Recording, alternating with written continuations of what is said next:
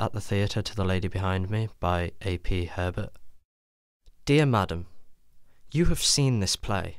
I never saw it till today. You know the details of the plot, but, let me tell you, I do not.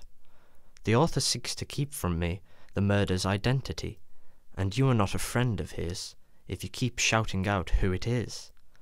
The actors in their funny way have several funny things to say, but they do not amuse me more if you said them just before. The merit of the drama lies, I understand, in some surprise, but the surprise must now be small, since you have just foretold it all.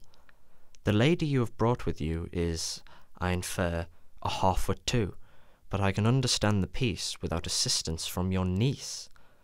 In short, foul woman, it would suit me just as well if you were mute.